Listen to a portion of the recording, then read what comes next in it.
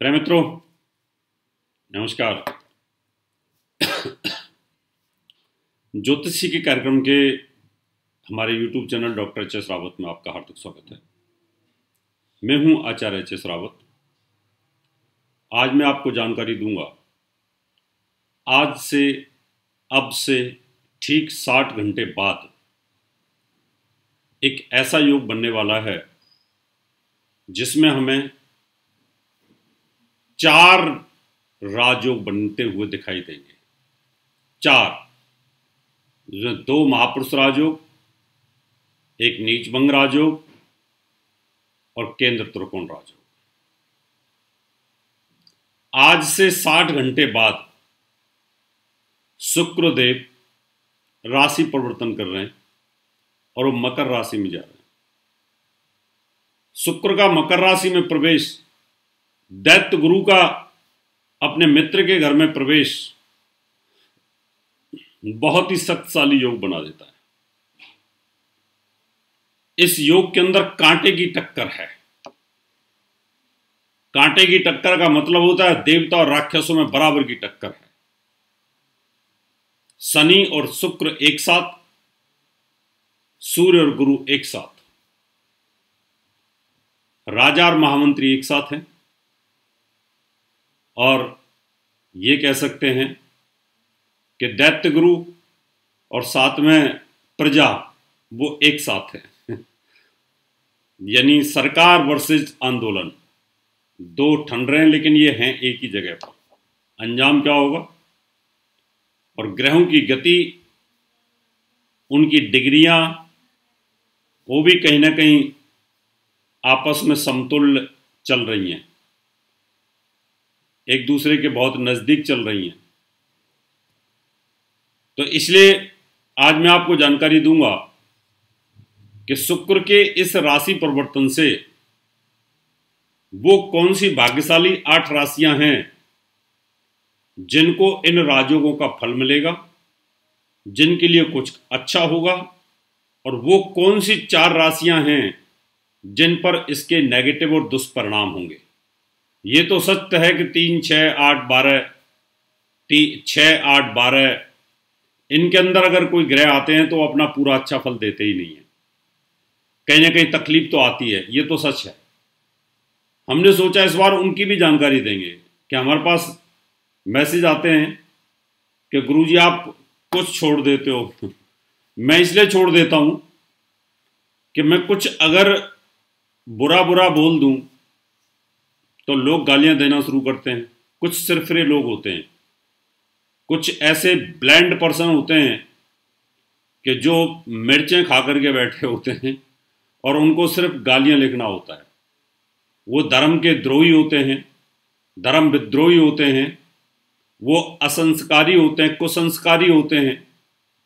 उनको कुछ लेना देना नहीं होता इस बात से। उनको सिर्फ़ लिखना होता है। वो समझने के लिए तैयार नहीं है कि ज्योतिष कैसे काम चल करती है। कुछ लोग तो ऐसे होते हैं कि बोलते हैं ज्योतिष तो मानव सेवा का कल्याण का काम है पैसा क्यों लेते हो? भाई कौन से ग्रंथ में लिखा है?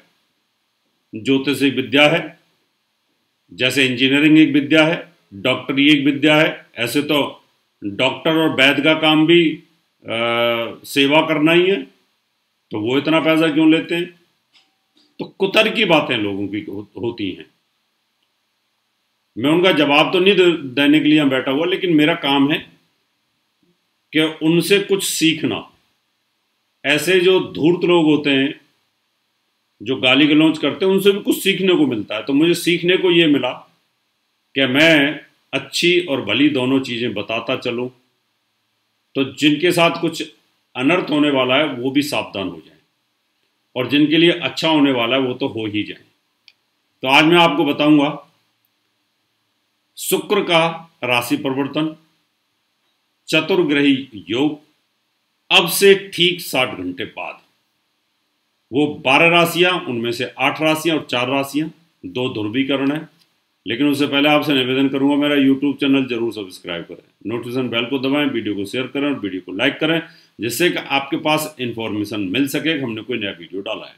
चलिए शुरुआत करते हैं। मेष राशि अच्छी राशियों में गिनी जाएगी, क्योंकि मेष राशि वालों के लिए रुचक नाम का महापुरुष राजयोग है। उनके दसम भाव के अंदर सस नाम का महापुरुष राजयोग है। दूसरा, शुक्र के शनि के साथ आने से केंद्र त्रिकोण राजयोग है। और गुरु का वहाँ नीच हो जाना, वो नीचभंग राजयोग है। और एक नीचभंग राजयोग और बन जाता है, क्योंकि वहाँ पर केंद्र त्रिकोण राजयोग एक और बन जाता है।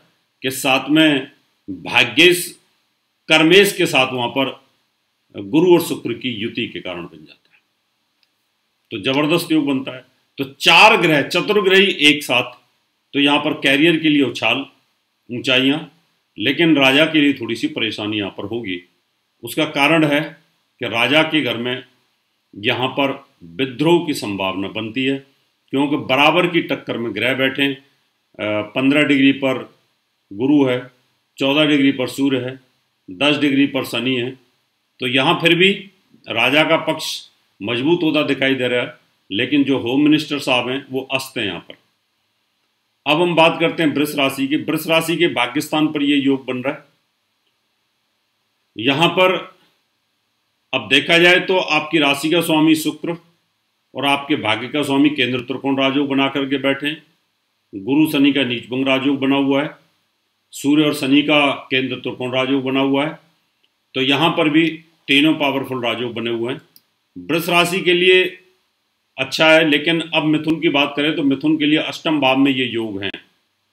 ये राजयोग तो कहे जाएँगे, लेकिन बहुत अच्छे नहीं बोले जाएँगे। तो आप मिथुन राशि वाले, आपकी कुंडली में पास्विक योग बन रहा है। थोड़ी लाइफ उतल पुतल हो सकती है, इसलिए पन्ना पहन के रखें और आप नीच की स्थिति में जो गुरु है, इसकी पूजा करें और बाकी के पाँच पापी ग्रहों की शांति करें। यहाँ अगली राशि हमारे पास में कर्क कर्क राशि के अंदर फिर हमारे पास में चार जो राजयोग हैं, यानी एक रुचक नाम का महापुरुष राजयोग, सस नाम का महापुरुष राजयोग, गुरु का नीचभंग राजयोग और शनि का और शुक्र का केंद्र त्रिकोण राजयोग बहुत ही शानदार है। आपके लिए रीमैरिज के लिए बहुत अच्छा है।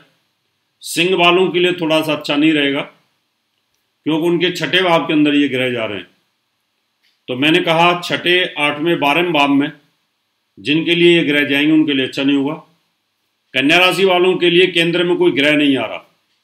तो यहाँ पर एक पासविक योग बन रहा है। तो इस पासविक योग से भी सावधान थोड़ा रहना पड़ेगा। अगली राशि हमारे पास में तुला। तुला वालों के लिए फिर चार में से दो महापुरुष राजयोग और एक नीचभंग राजयोग और साथ में केंद्र त्रिकोण राजयोग। बहुत ही शानदार चौथे भाव में मकान, भूमि, जायदाद इन सबके लिए अच्छा है, आप ले सकते हैं। वृश्चिक राशि की बात करें तो यहाँ पर थोड़ी सी उथल पुथल आ रही है। यहाँ कालसर्प योग का प्रभाव आएगा आगे चल के, अभी तो नहीं है, एक हफ़्ते बाद आएगा। तो इसलिए थोड़ी सी सावधानी आपको बरतनी यहाँ पर पड़ेगी। अगली राशि है हमारे पास में धनु। धनु राशि के अंदर पूरा पाश्विक राजयोग है। ये पाश्विक योग के अंदर उथल पुथल हो जाती है। धनु राशि पर शनि की साढ़े साथी का प्रभाव भी है। धनभाव के ऊपर चार चतुर्ग्रही योग बन रहा है। तो यहाँ पर पैसा, नीचभंग राजयोग, धन की आमदनी, यहाँ पर अच्छा योग बनेगा। मकर राशि की बात करें तो मकर राशि के अंदर भी दो महापुरुष राजयोग बन रहे हैं। चौथे भाव में रुचक नाम का महापुरुष राजयोग और आपकी राशि के अंदर नीचभंग राजयोग और साथ में सस नाम का महापुरुष राजयोग, ये भी बहुत शानदार स्थिति में बन रहा है। तो यानी आप भी बहुत भाग्यशाली हैं। कुंभ राशि के लिए बारह भाव में तो कुंभ राशि के लिए बहुत ज़्यादा अच्छा नहीं बोलेंगे हम इसको। और मीन वालों के लिए लाभ स्थान पर है। तो यहाँ मीन वालों के लिए लाभ के लिए बहुत अच्छा है। लेकिन मीन वालों के लिए थोड़ी सी उथल पुथल आ रही है, क्योंकि केंद्र में कोई शुभ ग्रह नहीं है हरेसमेंट थोड़ी सी हो सकती है। तो मित्रों, ये था चार राशियों के लिए उथल पुथल और बाकी की राशियों के लिए आठ के लिए बहुत अच्छा योग। यहाँ पर जहाँ उथल पुथल है, पाश्विक योग बना हुआ है, वो पूजा पाठ करा के इसको ठीक कर सकते हैं। अब से साठ घंटे बाद ये योग चालू हो जाएगा और साथ में ये चार फरवरी तक रहेगा। तो इतने समय तक आप इसका पूजा पाठ करेंगे तो आपको निश्चित तौर पर लाभ मिलेगा। कुंडली दिखाने के लिए, कुंडली मिलाने के लिए, वास्तु विज़िट कराने के लिए मुझे संपर्क कर सकते हैं। मैं 28 तारीख को रुड़की और 29 जनवरी 2021 उनतीस जनवरी को मैं देहरादून में हूँ। देहरादून में भी आप वास्तु विज़िट करा सकते हैं, पूजा पाठ करा सकते हैं, कुंडली मिला सकते हैं, मुझे संपर्क कर सकते हैं। अब समय आपसे हाथ लेने का। नमस्कार। और संपर्क सूत्र मैं आपको अपना दे रहा हूँ, इस पर आप नोट कर सकते हैं। दर्शकों, अगर आप अपनी कुंडली दिखाना चाहते हैं, घर का नक्शा बनवाना या वास्तु विज़िट पूजा पाठ करवाना चाहते हैं तो आप हमें निम्न पते पर संपर्क कर सकते हैं। हमारा दिल्ली का पता है, Maharshi Parashar Jyotish Vidyalaya C nine Mahindra park, Pankha road, near Janakpuri C one bus stand, new Delhi fifty nine phone number zero double one two five six three eight one five seven two five six three eight one six eight mobile number nine eight triple one double four one five six nine two one double two eight six zero nine zero email info at the rate astro dot com website W W dot doctor H S Rawat